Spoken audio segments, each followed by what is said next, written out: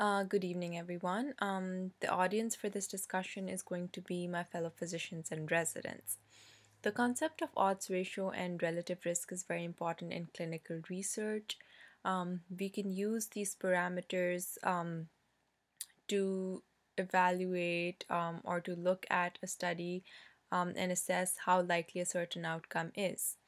If we take the concept of relative risk, uh, we can evaluate certain exposures uh, and in a clinical context we can evaluate um, how likely are people to develop a disease if they're exposed to that factor.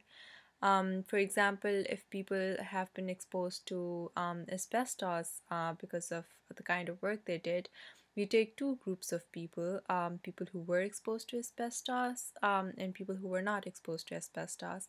And we take um, a five limit uh, five year time limit um, and then we evaluate how likely are those people to develop a certain outcome like cancer.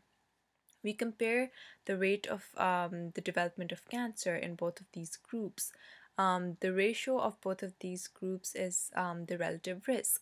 So, for example, the relative risk comes out to be 2.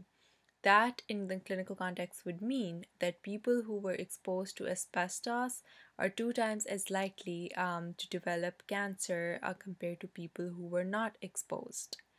Um, so this sort of number can also be used um, to evaluate certain rare exposures. Um, and we can like follow them prospectively um, and then compute that value uh, and evaluate the effect of that exposure. Taking um, odds ratio now, um, in odds ratio um, is done on case control um, type of studies. Um, we take cases and we take controls. Um, so the cases are those people who have developed a certain outcome already. For example, they have a certain disease. Uh, let's say um, they already have cancer right now. Uh, we take people with cancer, we take people with, with without cancer, and the rest of their characteristics should be matched. Um, so then we look back retrospectively uh, into their past to see what sorts of exposure had they had. Uh, and if you're looking at a certain exposure, we evaluate um, the incidence of that exposure in the people who have cancer and um, the incidence of or the rate of that um, exposure um, in the past for people who don't have cancer. Um, and then we see the odds. Uh, so the odds ratio will represent how likely are people who have a certain outcome like cancer, how likely have uh, it is that they have been exposed to that um, certain factor like smoking uh, in their past uh, compared to people who don't have cancer. So if the odds ratio comes out to be again 2 um, for people who have cancer, um, we uh, and we're evaluating the exposure um, factor of smoking in their past, we would say um, that the people who have cancer are twice as likely to have been smokers uh, compared to people who don't have cancer.